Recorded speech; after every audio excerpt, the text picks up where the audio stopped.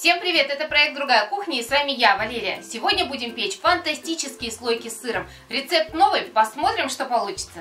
Сегодня нам понадобится 280 граммов муки, 100 грамм сливочного масла, 2 яйца, одно в тесто, второе для смазки, 1 чайная ложка дрожжей, 1 чайная ложка соли, 100 мл сметаны, 130 грамм сыра. Смешиваем муку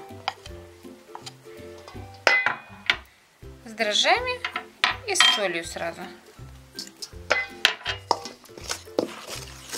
Сюда же отправляем сметанку,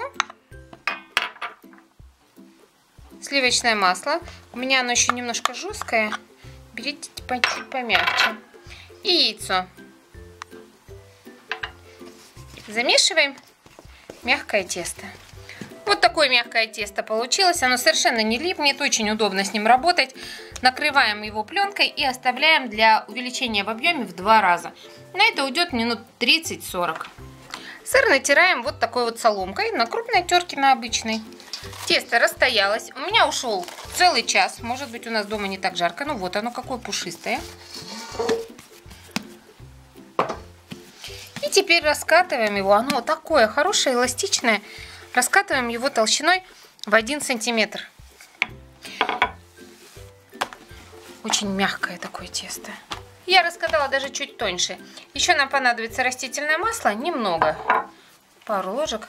Ой, аккуратно смазываем раскатанный лист. Вон оно аж настолько пористое, что рвется. И раскладываем на поверхности половину сыра.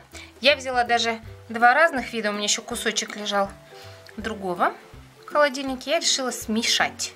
Посмотрим, как это повлияет на вкус. Потому что мой а, первый кусочек, который я взяла, был достаточно соленый. Пробуйте всегда сыр, а то вот так вот можно пересолить блюдо, даже не знаю, как так получилось. Теперь складываем еще вот такими вот конвертиком. Так, так. Дадим полежать буквально 5-7 минут. И теперь аккуратно раскатываем тесто в прямоугольник. Толщина теперь теста должна быть 2 сантиметра. То есть это будет не тонкое тесто. Вот такая красота получилась. И теперь аккуратно смазываем яйцом взбитым. Я добавила в яйцо немножко молока. Но можно этого и не делать. Это уже на ваше усмотрение. Хорошо смазали. И посыпаем оставшимся сыром. Я думаю, что можно их и потоньше сделать, но буду пока делать все как по рецепту. Сыр прям можно даже вдавить так, чтобы он не убегал и не терялся. Теперь аккуратно разрезаем наш пласт вот на такие пироженки практически.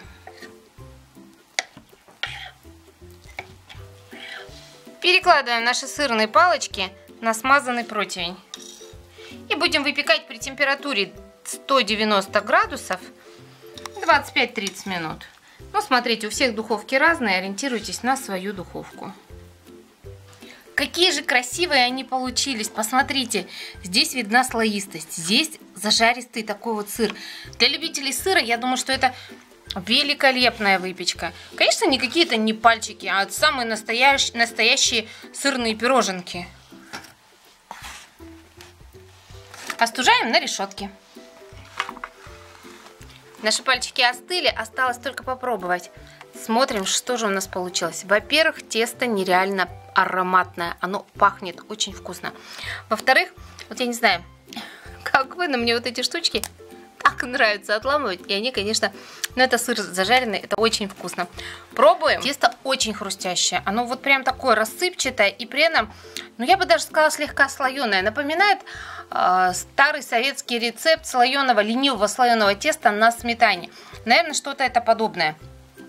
Прекрасная, ароматная, чудесная выпечка. Я думаю, что мужьям нашим точно понравится, детям обязательно готовить нужно, пробовать. Конечно, Блюдо сильно не диетическое, но при этом невероятно вкусное. Очень рекомендую. Ну все, я пошла кормить свою семью. С вами была я, Валерия. Это проект «Другая кухня». Не переключайтесь, впереди много вкусного.